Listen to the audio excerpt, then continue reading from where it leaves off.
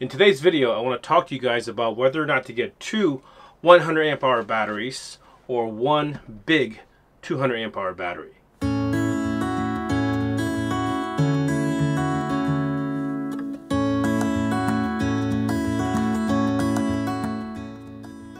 What's going on guys? My name is Dan, this is Freely Roaming.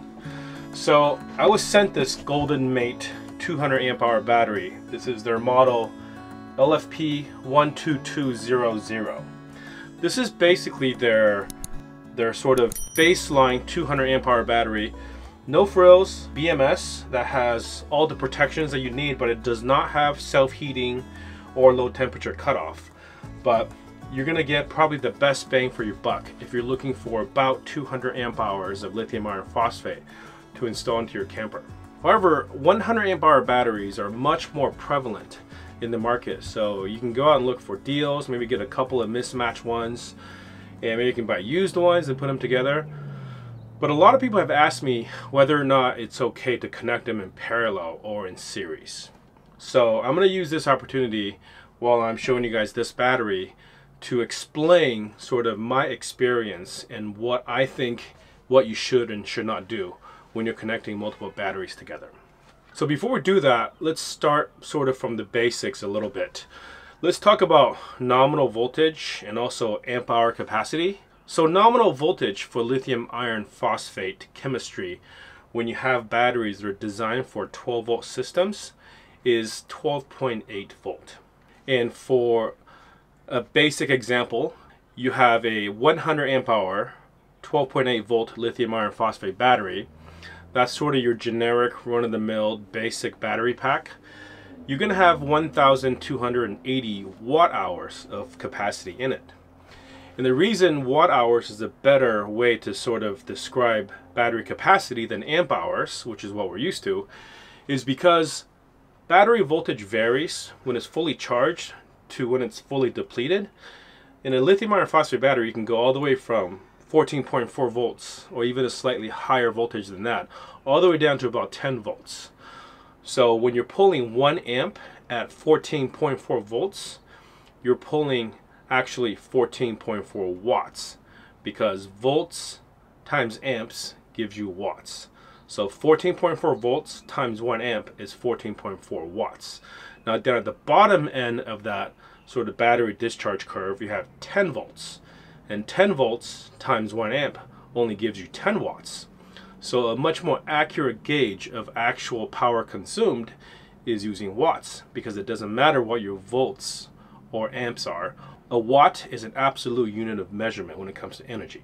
A lithium iron phosphate battery at 12.8 volts, what it's basically saying is that when you discharge it, you're going to get an average of 12.8 volts given a range of voltage with a specific current draw. Even though your voltage might vary from the top end to the bottom end, when you draw 100 amps from a 100 amp hour battery, you should get 1,280 watt hours. So that said, when people want to double their capacity, generally speaking, they want to double their capacity without increasing that nominal voltage. So there's two ways to connect batteries together.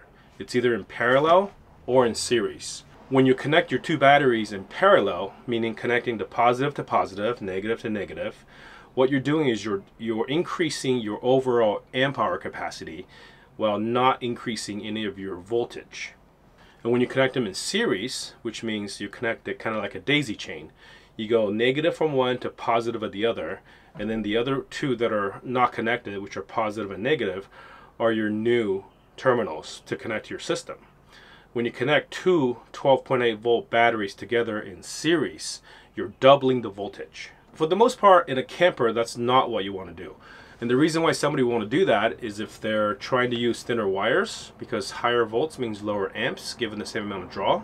If you have an appliance that uses a lot of power, to use a 24 volt system versus a 12 volt system, assuming that it's compatible with both, you don't have as much current going through the same wires when you have higher voltage. So this is kind of where the question arises. Is it safe to connect lithium iron phosphate batteries, two different, two separate batteries, either in parallel or in series? And the answer is yes, for the most part, and no, in some circumstances. For the most part, you can connect them if you know what you're doing. The ideal situation is that you have identical batteries, same make, same model, ideally made around the same time.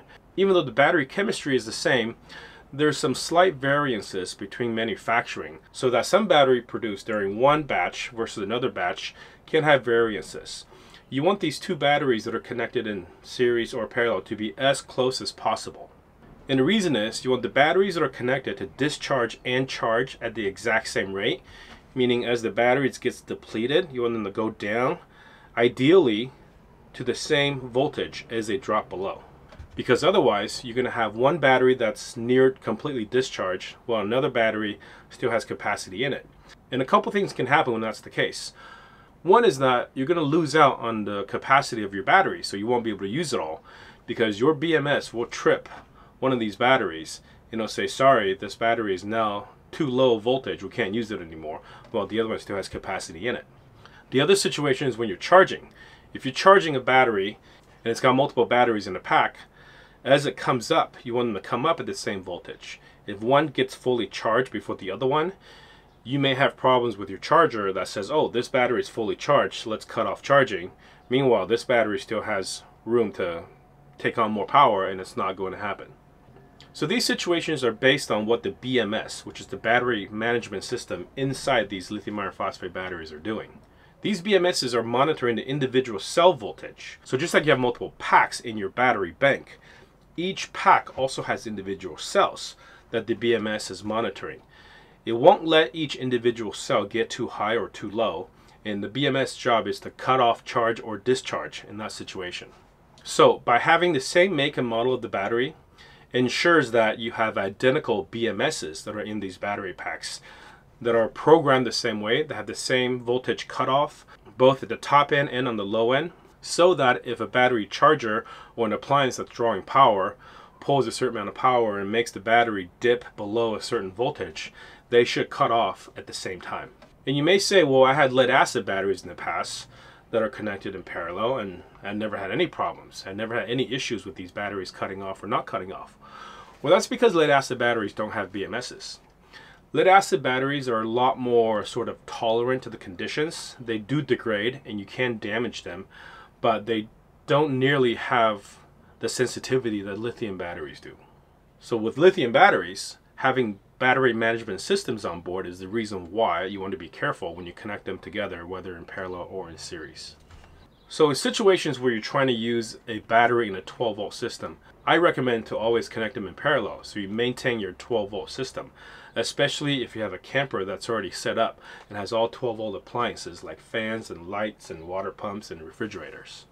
So let's let's talk about this Goldenmate model LFP 12200 battery. As always, I've tested this battery for its capacity. I charged this battery up to 100% and ran a discharge test at 10 amps.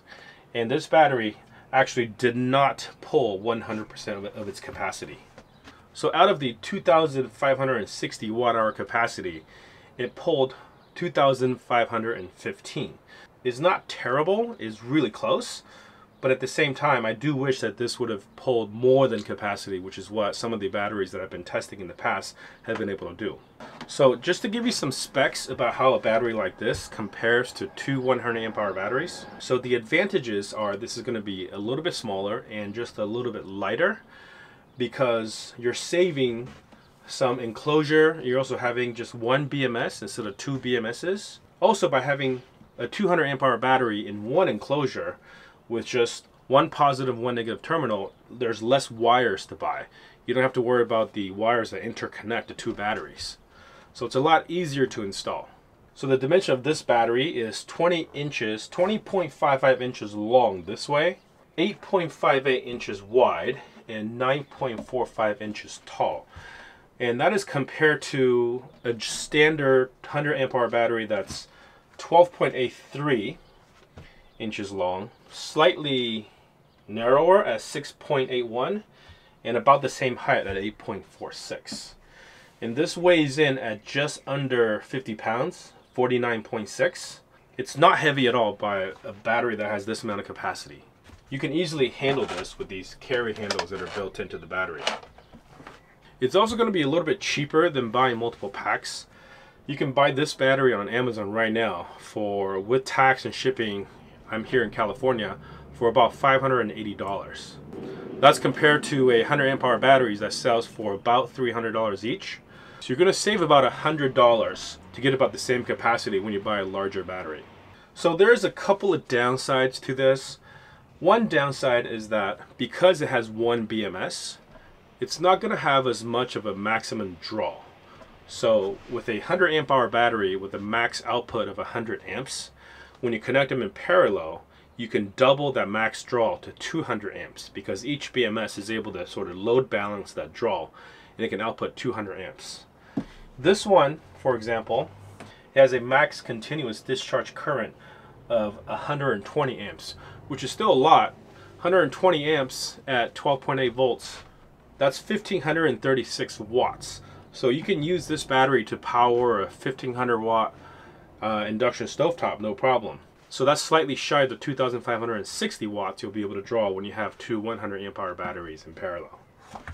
But if your goal is to get more runtime out of your battery, meaning have more battery so you don't have to recharge them as frequently, not necessarily just being able to pull more power at any given moment, I think this is the way to go. It takes up less space, it's cheaper, it's easier to set up. So that's it. This is the Goldenmate model LFP 12200 battery. And for a lot of people that have been asking me about, well, 100 amp hour is not quite enough, what should I get? I say get a big 200 amp hour battery. This should be enough for most people, especially if you're just doing some casual camping and you're not using induction stovetop for your primary method of cooking. 200 amp hours is a lot of power. And like most lithium iron phosphate batteries of high quality, it's going to give you a lot of cycle life. The manufacturer has this at 5,000 cycles, and even if it only gets half of that, we're talking about a decade worth of service.